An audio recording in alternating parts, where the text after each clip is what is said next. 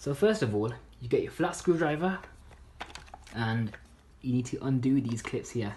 So one, two, three, and four. And then this part will come off. Remove the brush bar by simply undoing this end cap. And the brush slides out. Make sure it spins freely. Do not wash this brush bar because there's actually a bearing in there. Remove the following screws. There's eight of them, okay? So, three at the front, one here, here, here. So that's three at the front. There's one here as well. There's two on either side here. And then there's two more here. With all these screws removed, those eight from underneath, this part should lift out. It is a bit of a fiddle, but if you get your flat screwdriver and lift up from underneath, it will unclip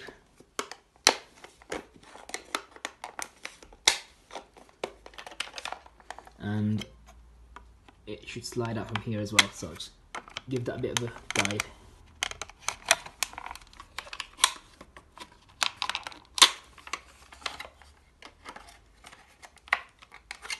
actually that's not done properly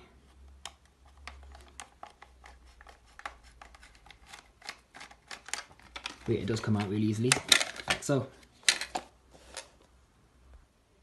the wires just sit in these grooves okay so lift up on these wires for them to pop out their grooves. Pull them out like that. Make sure that they're not above this clear window because this will literally now come apart like so. You can wash this now and give it a polish.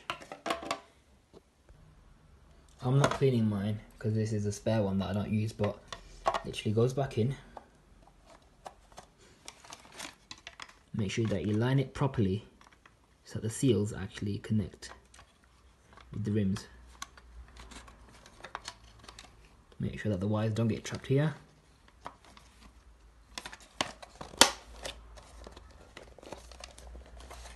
Make sure that's flush all the way around.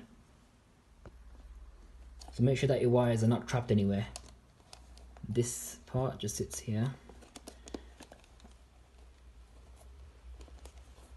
push the wires into their grooves.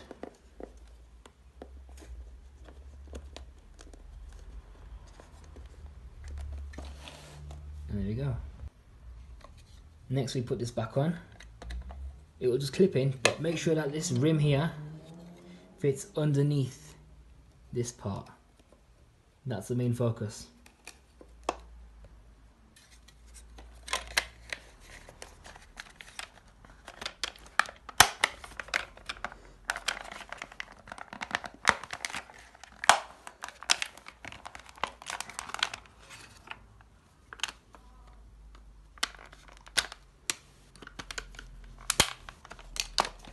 There we go.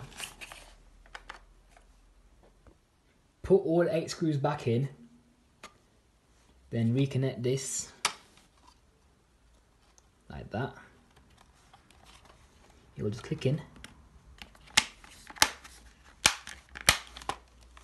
Put your brush bar back in. Lock it up. And you've got an as new cleaner head.